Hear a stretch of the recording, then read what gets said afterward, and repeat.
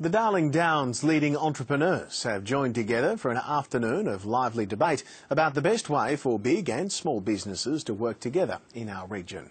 The Strong Australia Community Forum is part of a series of events taking place across Australia to bring the big conversations to regional cities.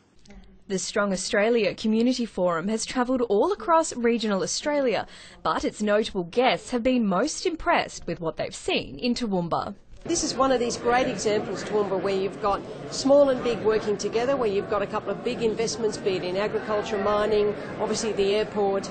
The forum is a chance for the leading business lobby groups to gain an understanding of the issues that impact their members outside of the capital cities.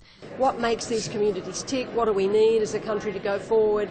And, and what are the priorities that local people think? And to try and make sure that the conversation in Australia isn't just a Melbourne and Sydney conversation. And for those attending to see firsthand that small and big business can successfully work together. We do have our clashes and we do have some very willing arguments at times, but in the main it is a very good relationship and it's important that people know that.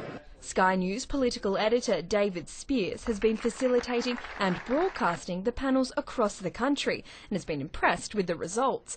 He believes it's important that people stop and listen to those building the economy from the ground up. This is a great opportunity because I mean we spend a lot of time talking to politicians and look politicians are important, government can do a lot but only so much.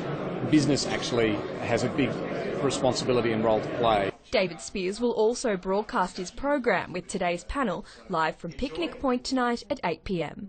Laura Cox, WIN News.